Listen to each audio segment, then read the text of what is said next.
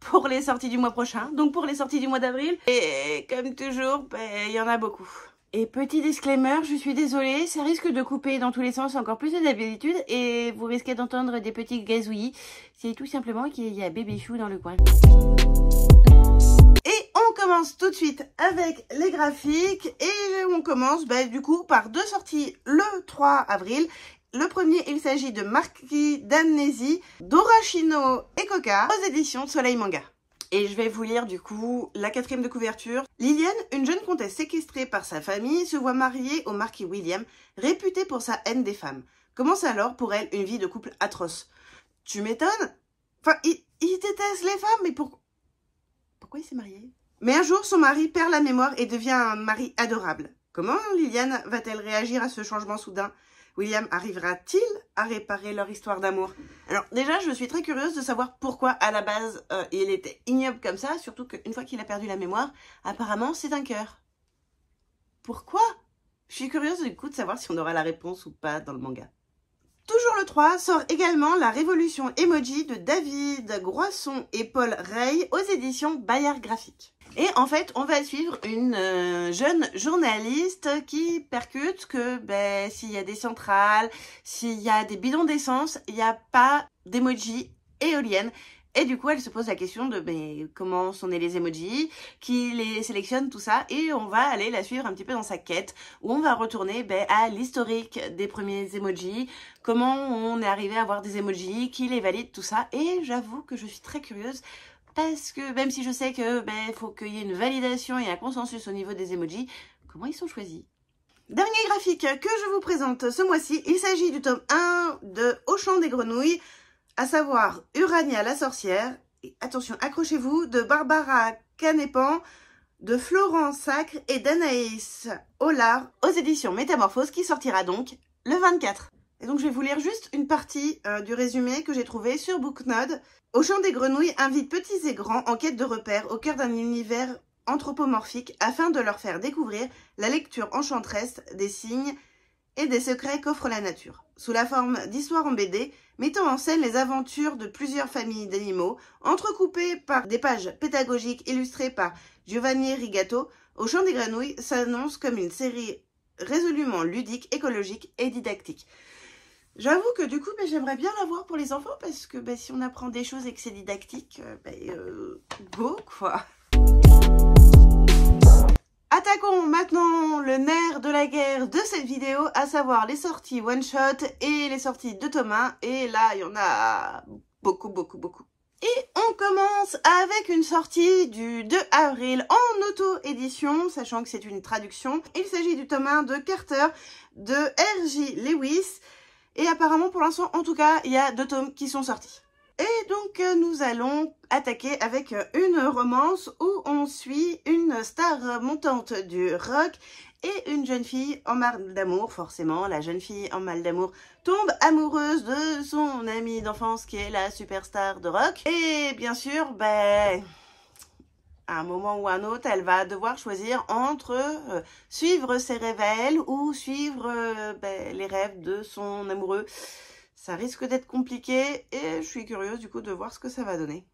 Alors attention quand même, par rapport aux thèmes qui sont mis sur Booknode, il y a quand même euh, un des thèmes principaux qui est de la violence. Donc peut-être à ne pas mettre dans toutes les mains, je ne sais pas, mais je préfère prévenir.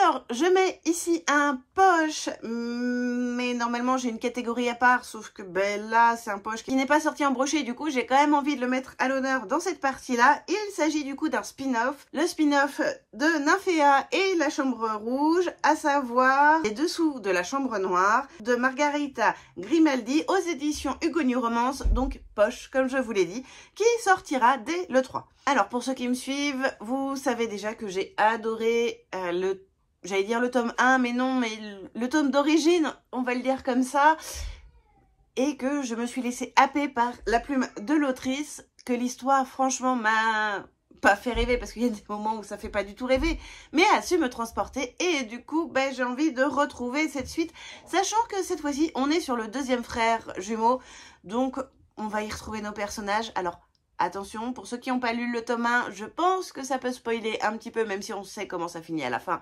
vu que c'est une romance. Mais on retrouve du coup les protagonistes de Nymphéa, mais c'est vraiment axé sur le frère jumeau ben, du coup de monsieur. Et voilà, du coup j'ai envie de savoir ce qu'il en est, parce qu'il avait l'air quand même pas mal torturé, hein, ce frère jumal. Accrochez-vous parce que le 3, en fait, je suis en train de voir, mais il y a beaucoup de sorties et je pense que celle-ci, vous avez dû l'avoir passée, soit chez d'autres youtubeurs, soit sur les réseaux, parce que on l'a vu passer je ne sais combien de fois. Il s'agit de la nouvelle trilogie de Brigitte Kemmerer, à savoir Défier la nuit. Et donc, le tome 1 sort, comme je vous le disais, le 3. Et j'avoue que le petit côté euh, je défie l'autorité pour aller euh, soigner et aider les gens me plaît beaucoup puisque c'est ce que va faire Tessa, une jeune demoiselle qui bah, va essayer de soigner les gens d'une fièvre mystérieuse sachant que ben, pour les soigner, elle est obligée de récupérer une plante qu'elle n'a pas le droit de récupérer. Donc voilà.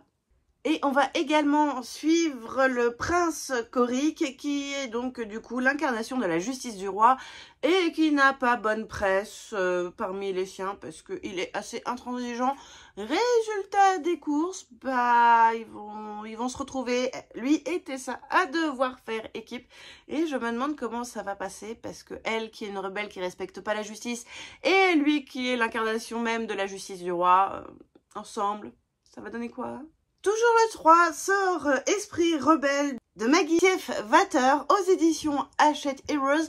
Et cette fois-ci, nous allons être dans une réécriture de Mérida. Et j'avoue que retrouver la jeune fille, euh, enfin voilà, rebelle, sûre d'elle, qui veut pas forcément se marier, qui fait tout pour être indépendante, en montrant qu'elle n'a pas besoin d'un homme, euh, voilà, c'est Mérida et ben euh, cette fois-ci, elle va devoir euh, ramener sa famille dans le droit chemin parce qu'apparemment les coutumes claniques euh, écossaises ne sont plus vraiment respectées si j'ai tout compris. Sauf que ben, peut-être que le problème c'est pas sa famille mais elle et qu'il faudrait peut-être qu'elle se remette en cause. Sort toujours le même jour Isha de Jessie Moon aux éditions Teen Spirit. Et donc nous allons suivre Tala, Tala qui est une jeune amérindienne qui se retrouve à emménager chez ses grands-mères maternelles aux abords d'une réserve. Et alors qu'elle est originaire de cette réserve, elle en a vécu très loin et elle a vécu très loin du coup de tout ce qui était coutume et mythe de sa tribu. Du coup, il bah, va falloir qu'elle apprenne un petit peu et je pense que, en tout cas j'espère qu'il va y avoir un choc des cultures parce que, ben voilà, je l'attends ce choc des cultures. Et Tala va croiser Jared, Jared qui est un jeune homme qui est hanté par la solitude et par le poids des traditions et les traditions de sa famille. Donc je pense que soit il y a un mystère dessous, genre un petit peu de fantastique ou quelque chose comme ça, soit on va être sur du contemporain, mais quand je regarde les thèmes principaux, on a quand même métamorphose et légende amérindienne avec de la romance. Je pense qu'il y a un brin de fantastique et que si un des deux est pas métamorphe euh, là-dessous, je vois. En tout cas, je l'attends. Dernière sortie du 3, il s'agit du tome 1 de Coven of Bones, à savoir The Coven de Harper L. Woods aux éditions Collection et H, Collection Romantasy. Et on va suivre Willow, Willow qui est une jeune femme qui est née dans le seul but d'accomplir euh, son destin et surtout ben, la vengeance contre les sorciers qui ont tout simplement enfoui les ossements de son ancêtre. Donc elle souhaite se venger et je vais vous lire un passage. Ses objectifs sont simples. 1. Séduire Gray, le directeur de l'université de Hollows Grave. 2. Découvrir tout ce qu'il sait. 3. Trouver les ossements. 4. Venger sa lignée. Mais comment Willow pourrait-elle parvenir à ses fins alors que le regard bleu acier de Gray l'a fait osciller entre féroce envie de lui arracher la tête et une attirance malsaine qui consume son cœur? J'avoue que du coup, ben voilà, on est dans de la romance paranormale et ça reste un de mes petits péchés mignons et j'aime beaucoup ça. Alors, petit disclaimer, avant de continuer à vous présenter les titres, j'ai mis des titres de chez De Saxus, donc euh, je parle de la maison mère de Saxus, hein, donc avec Sabran et Saxo. Euh, si je les mets, c'est parce que cette vidéo me sert aussi pour moi ben, comme souvenir de ce que j'aimerais lire fin mars dans les sorties d'avril. Clairement, c'est pas pour vous pousser à la consommation. J'ai fait quelques vidéos sur TikTok où j'ai laissé un peu parler mon cœur pour dire qu'il y avait certaines choses qui m'agaçaient dernièrement chez euh, cette maison d'édition. Mais j'ai pas envie non plus de me bloquer à me dire que si dans six mois j'ai envie d'acheter le livre, que ce soit neuf ou d'occasion, ben je le ferai tout simplement. Mais ce qui est sûr, c'est que je ne courrai pas dans la seconde à aller l'acheter. Et donc, le 4 sort euh, le tome 1 de Dieu de chair et de mensonge, à savoir Les désirs immortels de Chloé Gong. Pour l'instant, apparemment, ce serait une biologie, mais je ne suis pas sûre, donc ce sera à confirmer. Chloé Gong, qui a déjà publié chez De Saxus une autre série qui était une réécriture de Roméo et Juliette. Et donc cette fois-ci, on est sur une réécriture d'Antoine et Cléopâtre et que j'avoue, je ne connais que peu cette histoire-là, même si on sait que apparemment Antoine aurait été le grand amour de Cléopâtre ou Cléopâtre aurait été le grand amour d'Antoine. Mais j'ai pas forcément envie d'en savoir plus sur le résumé, même si, si j'ai tout compris, on a quand même une petite inspiration d'écriture asiatique derrière. Donc je suis curieuse. Toujours le 4 sort Les héritiers d'Ungardia, tome 1, à savoir l'ascension d'une héritière de Chloé Peñaranda aux éditions de Saxus. Et donc, on va suivre une jeune femme, une jeune femme dans un univers où les faées sont ultra méga puissants et surtout ben, qui écrase les humains. Déjà, c'est pas top top, sauf qu'il y a en plus, si j'ai bien compris, il y a une guerre qui se prépare et euh, bah, elle, elle n'a pas envie de mener la bataille qu'avec de l'acier. Et du coup, bah, je sais pas comment elle va faire pour gérer. Toujours le 4, à croire qu'ils ont fait une belle session entre le 4 et le 5. Mais bon, c'est pas forcément mieux entre le 10 et le 11 non plus. Donc on va continuer. Hein donc le 4 sort L'école secrète des dragons, tome 1 d'Emily Sky aux éditions Saxo. Et nous allons tout simplement bah, suivre notre protagoniste qui va se retrouver a intégré la mystérieuse école de dragons pour devenir dragonnier, sauf que bah, il pensait qu'elle n'existait plus ou qu'elle n'a jamais existé, je ne sais plus. Mais toujours est-il que ben, nous allons suivre ce jeune homme dans son école pour devenir dragonnier comme je le disais. Et toujours est-il qu'en plus son dragon n'a pas le meilleur caractère qui soit, résultat des courses. Ça risque d'être rigolo et puis dans tous les cas, il y a une ambiance école et l'air de rien, bah j'aime bien ça. Je, sais pas combien de fois je dis, l'air de rien, j'aime bien ça. Mais j'aime beaucoup de choses en fait. Mais peut-être falloir que je revoie un petit peu comment je le dis, parce que voilà, au final, euh, bah, je dis toujours la même chose. Et on continue toujours le 4 avec la, sortie de La Cité oubliée d'Hermine Lefebvre et, et Ashwang aux éditions Scrinéo. Imagine, disait son père, une cité à côté de laquelle celle-ci n'est que peu de choses. Imagine la magie qui la baignait tout entière et donnait tout pouvoir à ses habitants sur les forces de la nature. Imagine l'harmonie entre les Vénésianes et les êtres sous la lagune. Ce passage est en fait ce que racontait le papa de Loro à son enfant et du coup ben, Loro part à la recherche ben, de la mystérieuse cité antique. Sauf que ben, la recherche, alors qu'il a ça d'y arriver, ne va pas être de tout repos parce qu'il va croiser des personnes qui ben, veulent bien atteindre la cité oubliée, mais pour de mauvaises raisons. Et pour finir les sorties du 4, nous avons La Maison Piégée d'Emma Reid et Alice Marchand aux éditions Michel Lafon. Et nous sommes dans un thriller jeunesse, j'ai pas envie d'en savoir plus. Nous allons suivre une fratrie qui est à la recherche de la petite sœur qui s'est perdue lors d'une partie de cache-cache et ils vont arriver au niveau d'un manoir abandonné. Sauf que, ben, apparemment il y a des choses bizarres qui s'y passent. Sachant que en plus, une fois qu'ils sont rentrés, pour réussir à en ressortir, va falloir qu'ils débloquent des niveaux et ça, j'avoue que je suis curieuse de voir comment c'est fait. Passons au 5 où cette fois-ci je n'ai noté qu'une seule sortie. Il s'agit du tome 1 des Wesperwick, à savoir Le labyrinthe sans fin de Jordan Lys aux éditions Ozu. Et on va suivre Benjamin Crick qui vit dans une ville qui n'a rien de magique et je cite, ce n'est pas pour le déranger. Puisque lui, la magie, bah, il les croit pas tout simplement. Jusqu'à ce qu'il lui arrive un truc très bizarre et qu'il soit envoyé dans le monde le plus impitoyable qui soit où les rues n'en font qu'à leur tête et se déplacent. Et là, je suis assez d'accord avec Manon de Vibration littéraire quand elle a présenté ce livre qui disait j'ai l'impression de voir les escaliers dans Harry Potter qui se baladent tout seuls et qui font que ben, tu veux aller d'un point A à un point B, tu ne prends jamais le même chemin parce que ben, les escaliers sont plus dans le même sens. Où les cartes à jouer servent de monnaie. Ouais, des cartes à jouer. Je suis curieuse du coup et où les couleurs ont une valeur inestimable, mais ça veut dire que le monde est en blanc et noir, en gris peut-être? Est-ce que le gris est une couleur d'ailleurs? Et résultat des courses, ben, il se retrouve à devoir mener une quête dans cet univers-là. Et je suis bien curieuse du coup d'aller voir ce qu'il en est. Allez, petit saut dans le temps et on passe au 10 avril avec, pour commencer, la sortie d'Aelia tome 1, à savoir La marque des anges de Manon Rulliat aux éditions Alter et donc, nous allons suivre Aela, Aléa, qui est obligée d'aller vivre chez sa tante suite au décès de sa mère et de retourner au lycée, puisqu'apparemment, bah, elle y allait plus trop parce qu'avec sa mère, elles étaient tout le temps sur les routes. Sauf que ben, le jour où elle fait sa rentrée, il y a aussi un mystérieux garçon qui fait également sa rentrée. Il s'agit de Gabriel et qui lui est sûr de lui charismatique, qui a vraiment un, le nom d'un ange, mais qui semble quand même très éloigné des autres élèves, comme s'il avait déjà vécu plusieurs vies. Et ce qui est encore plus bizarre, c'est que Aléa a l'impression de déjà le connaître, sauf qu'elle ne l'a jamais rencontré de sa vie. Résultat des courses, nous sommes partis pour une romance paranormale. Ou est-ce que Gabriel ne serait pas bah, tout simplement l'archange Gabriel? Je sais pas, hein, c'est juste une hypothèse. Toujours le 10 sort The City of Stardust de Georgia Summers aux éditions Brajlon. Et je vais tout simplement lire le début du résumé parce qu'il est certes un peu long, mais je trouve que le premier paragraphe est très intéressant.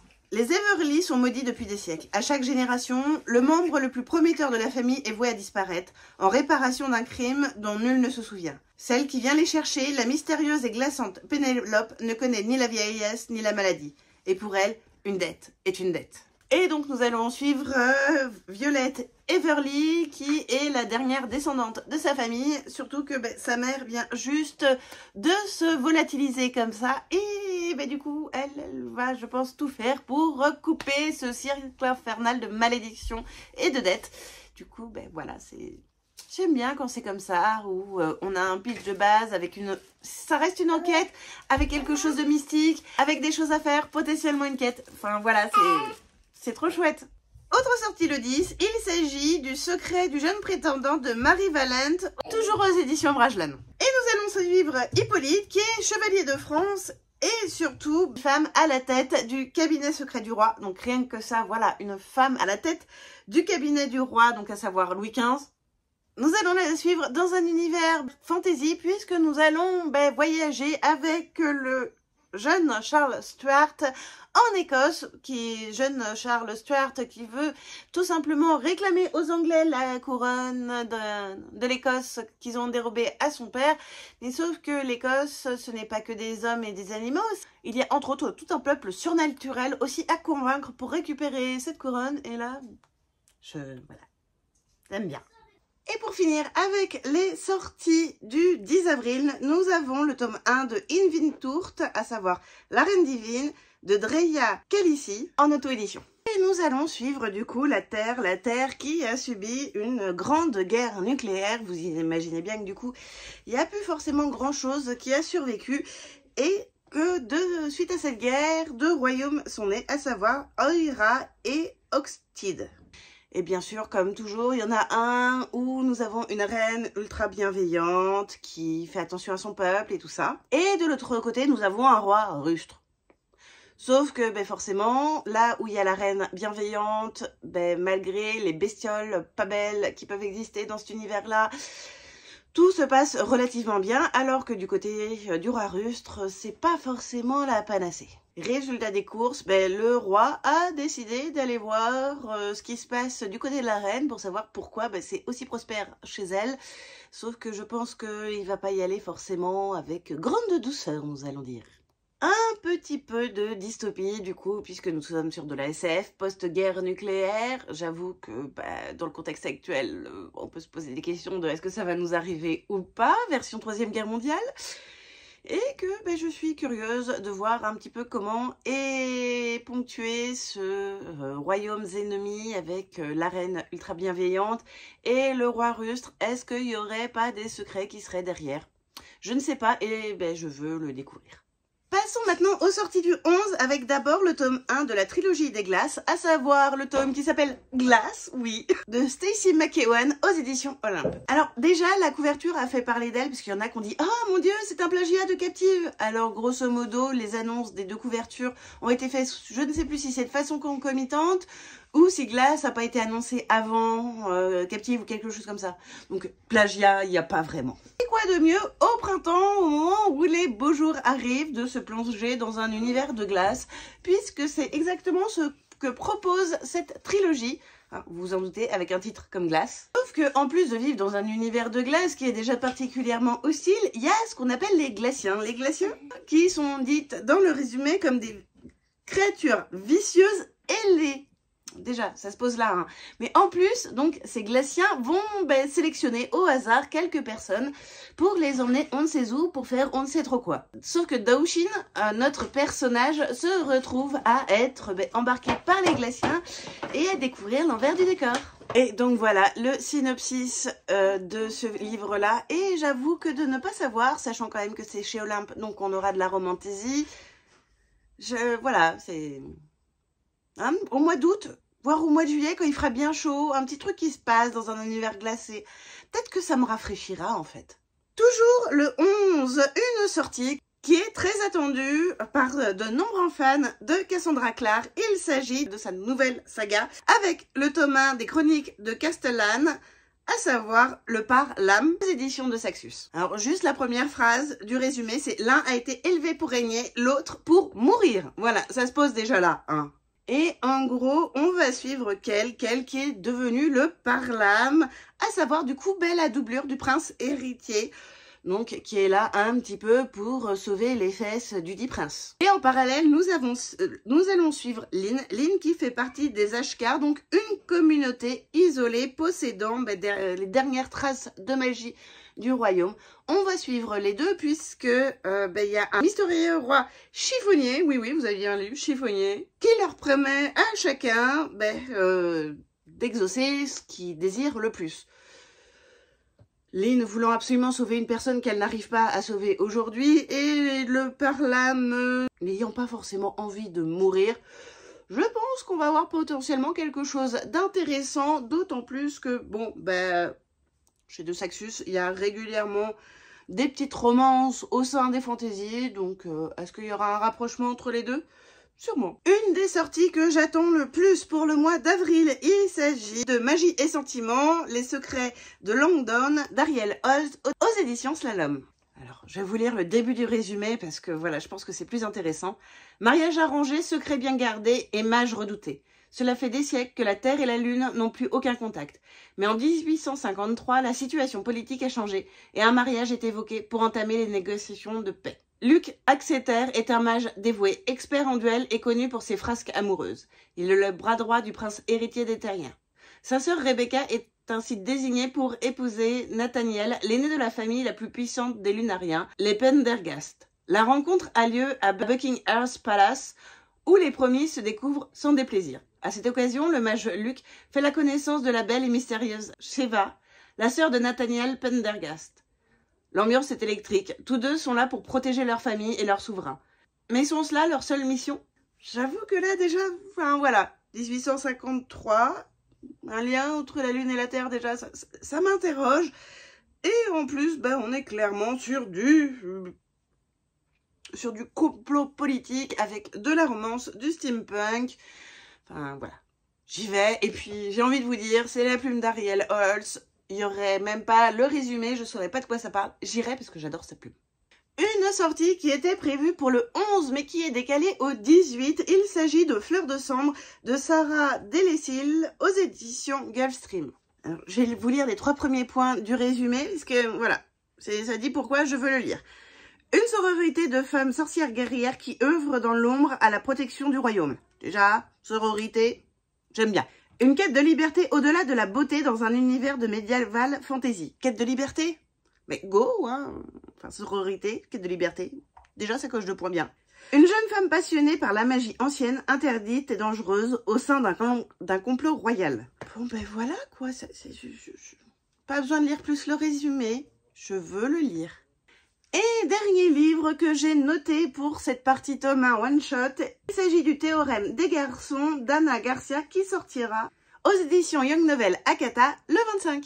Et nous allons suivre June. June qui est une jeune lycéenne qui aimerait bien faire un petit peu de autre chose que d'étudier et tout ça, ce qui est normal. Sauf que sa mère taïwanaise ne vise que l'excellence.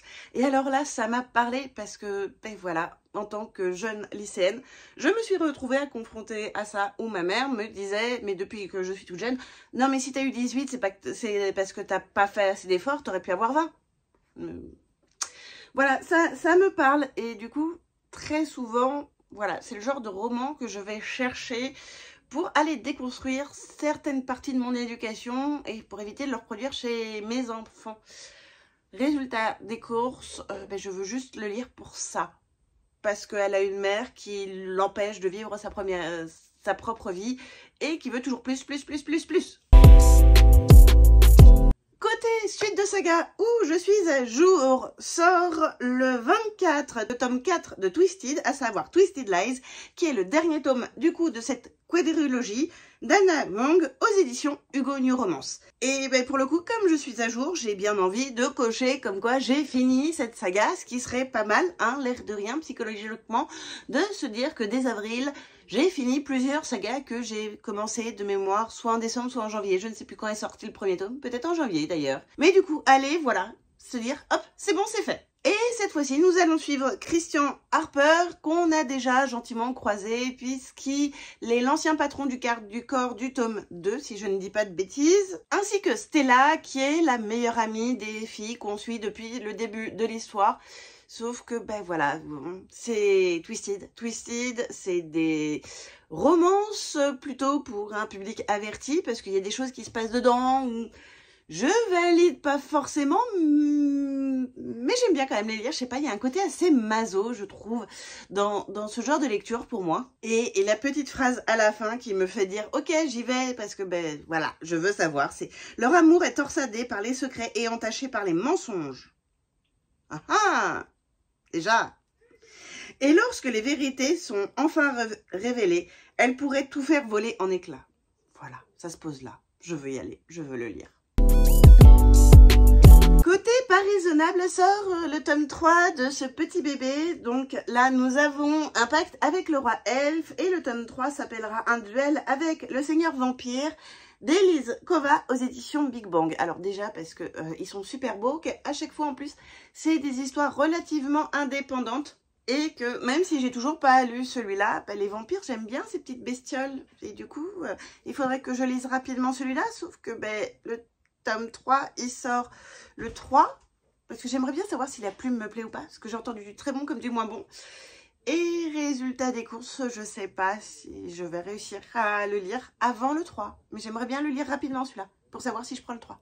Ça fait un moment que je vous le présente, et ben sort le tome 3 également des Liens du Destin, à savoir Blonde Bones de J. Brie aux éditions Corrigan. Et pareil, ce sont des jolis bébés, j'ai le tome 2 aussi dans ma palle. Sauf que, ben voilà, c'est des jolis bébés. Euh, j'ai envie d'avoir, euh, si ça me plaît, toute la version en relié collector. Parce que, ben voilà, ce serait dommage d'avoir une partie en brochet, une partie en relié. Ça me m'embêterait. Sachant qu'en plus, il y en a 6 en tout. Donc, il serait peut-être bien que je sorte le tome 1 avant le 10 pour savoir si, ben, du coup, je prends le tome 3 ou si ben, je revends mon tome 1 et mon tome 2. Ce mois-ci, le 24, sort également le tome 2 et le dernier tome du coup de cette duologie, à savoir du coup la duologie de Langrange Temps de Neil Pfeffer aux éditions Hachette. Et pareil, je ne l'ai toujours pas lu, pourtant c'est un joli petit bébé avec un synopsis qui est très sympa. Mais, mais voilà, quoi, enfin, c'est toujours pas lu, c'est une duologie. Il faudrait au moins que je lise le tome 1, savoir si je le prends, parce que, ben, voilà, une duologie, ce serait encore plus dommage de ne pas avoir les tomes de la même version. Et le 25, mais je vous en reparle très bientôt sur mes autres réseaux, sort le tome 2 de Salicornia, de Fabien Clavel, aux éditions Gulfstream.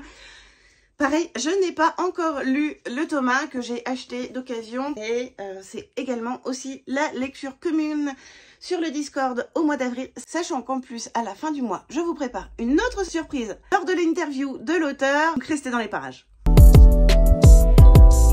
Passons aux poches et normalement ça devrait être quand même vachement plus rapide que les tomes 1 et les one-shots euh, que j'attends pour ce mois-ci. Le 3 sort euh, le tome 1 de Love Deception, à savoir The Spanish Love Deception d'Elena Armas aux éditions J'ai lu. Alors, pour le coup, je l'ai vu énormément tourner sur les réseaux et je n'ai toujours pas craqué pour ce tome-là. Peut-être que je craquerai en audio, mais toujours est-il que bah, il est sorti en poche et peut-être que bah, si le cœur m'en dit, je le mettrai dans ma wishlist en poche. Il y a des chances. Et en gros, on va suivre Catalina, Catalina qui est désespérée parce qu'elle est invitée au mariage de sa sœur, sauf qu'il y aura aussi son ex à elle et sa nouvelle nana. Déjà, ça la fout mal. Alors du coup, elle s'est inventée un fiancé et tout ça, sauf qu'il n'y a personne. Sauf que ben, nous avons Aaron. Aaron, c'est son collègue insupportable qu'elle peut pas qui se propose ben, de jouer ce rôle-là pour le mariage et lui sauver les miches. Soyons honnêtes, hein, Catalina, au début, elle était pas très chaude, mais avec l'échéance qui arrive, ben, elle se retrouve ben, à devoir euh, tout simplement ben, dire oui clairement le genre de romance ou pour le printemps, pour l'été, j'adore. Donc euh, ouais, je pense que je vais me le réserver euh, pour après les concours, genre à la fin juin, quelque chose comme ça. Et pour finir cette vidéo, sort en poche également le 10 avril Le secret du roi de Marie Valente aux éditions Brajlon Poche. Alors, je sais que j'ai lu le résumé pendant la période où il y avait le clip 2023. Je ne sais plus de quoi ça parle. Je n'ai pas envie de me rappeler de quoi ça parle, mais j'ai toujours très envie de le lire. Donc, je le note là, tout simplement. Ça me sert de pense-bête pour me dire, ah, faut que je le mette dans ma wishlist poche quand ce sera sorti, tout simplement. Bon, et vous, qu'est-ce que vous avez repéré pour ce mois d'avril? Est-ce que vous avez repéré, vous aussi, beaucoup de sorties? Sachant que j'ai vu qu'il y en avait qui en avaient repéré encore plus que moi. Est-ce que vous avez vu d'autres choses qui pourraient vous intéresser chez les copines? N'hésitez pas à me dire tout ça en commentaire. Et pour les plus timides, bah, tout simplement, l'emoji calendrier, ce sera très bien, hein, parce que ben, nous sommes sur des sorties. Ou autrement, les billets qui s'envolent aussi, c'est pas mal, l'air de rien. Et je vous dis à très vite dans une prochaine vidéo. Bye